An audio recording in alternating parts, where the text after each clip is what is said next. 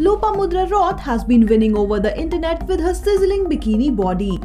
The diva, who has been posting some gorgeous snaps from her vacation in Goa, has left her fans bowled over with her mesmerizing photos. In these pics, Lopa is seen flaunting her toned curves in a blue bikini as she soaks up the sun on the beach. Not only that, this water baby also tried her hand at flyboarding and looks like she immensely enjoyed this adventure. Lopa's Instagram profile is nothing short of a visual treat and we hope that she continues to keep her fans posted on her adventures in 2020.